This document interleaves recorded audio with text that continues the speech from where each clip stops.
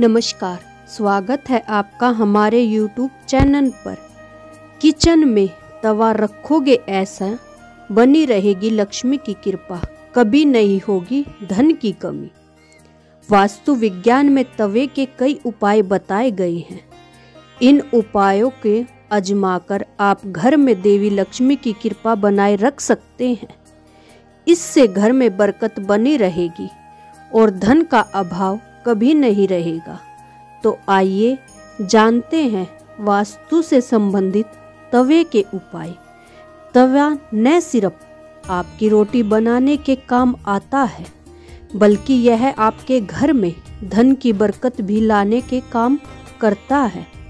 वास्तु विज्ञान में तवे से संबंधित कई उपाय बताए गए हैं।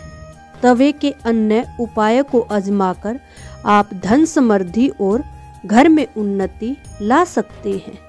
आइए आजमाए तवे के उपाय। तवे को लेकर मानी जाती है ये बातें।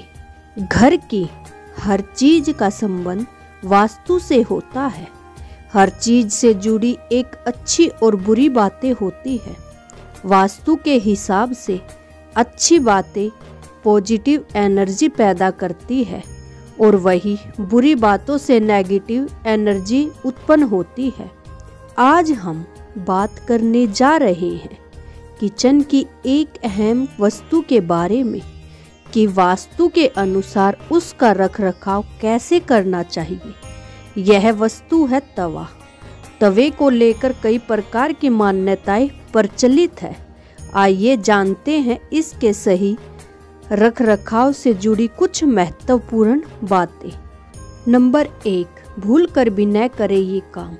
अक्सर देखने में आता है कि कुछ लोग तुरंत रोटी सेकने के बाद गरम तवे को गंदे बर्तनों में धुलने के लिए रख देते हैं। अगर आप भी ऐसा करते हैं तो इस आदत को छोड़ दीजिए, क्योंकि गरम तवे पर पानी छिड़कना अच्छा नहीं माना जाता। यह अशुभ माना जाता है। घर में बड़े बुज़ुर्ग ऐसा करने से मना करते हैं।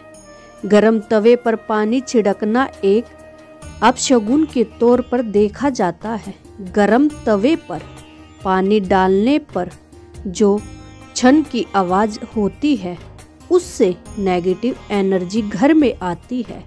वही यह भी माना जाता है कि जब घर में किसी की मृत्यु हो जाती है तो उसकी तेरहवीं के दिन भी गर्म तवे पर पानी छिड़का जाता है।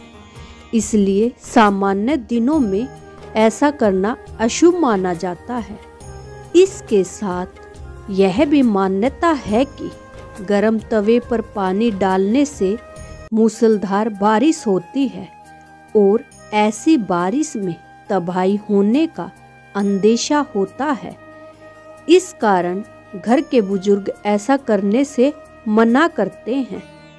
नंबर दो ज्योतिषी में तवे का संबंध राहु से माना जाता है। इसलिए इसकी साफ़ सफ़ाई का विशेष तौर पर ध्यान रखना ज़रूरी होता है। हमेशा तवे को साबुन के साथ साफ़ पानी से धोकर रखना चाहिए।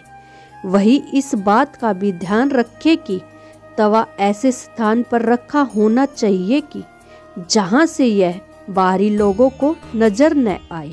नंबर तीन, ऐसे तवा रखना सही नहीं। तवे को सदैव हिलिटा कर रखना चाहिए। ऐसा माना जाता है कि तवे को खड़ा करके रखने से घर में लड़ाई होती है। इसके अलावा इस बात का भी ध्यान रखें कि तवे को कभी भी गैस पर खाली नहीं छोड़ना चाहिए।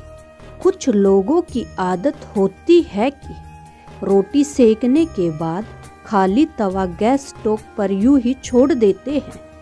ऐसा यदि आप भी करते हैं तो इस आदत को अभी से छोड़ दीजिए। नंबर तीन, धन की हानि होती है ऐसा करने से। अगर आप रोटी बनाने के बाद तवे को खाली और गंदा छोड़ देते हैं तो यह बहुत ही खराब बात है। इसका उपयोग करने के बाद इसको अच्छे से साफ़ कर लेना चाहिए, वरना यह आपके घर में कंगाली का कारण बन सकता है। नंबर चार, तवे पर नमक छिड़कना।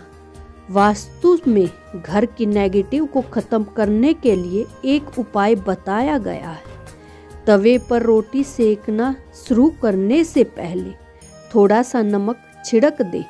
कहते हैं कि ऐसा करने से आपके घर में कभी रुपए, पैसे की या फिर खाने की कमी नहीं होती। वही इस बात का वैज्ञानिक महत्व यह है कि ऐसा करने से तवे की सारे कीटाणु मर जाते हैं और रोटियाँ खाने वाला कोई भी बीमार नहीं पड़ता। आशा करती हूँ कि आपको हमारी यह वीडियो अच्छी लगी होगी। और यदि आप भी लक्ष्मी माता के सच्चे भक्त हैं तो कमेंट में जय लक्ष्मी माता लिखना न भूलें। हमारी वीडियो देखने के लिए आपका बहुत बहुत धन्यवाद।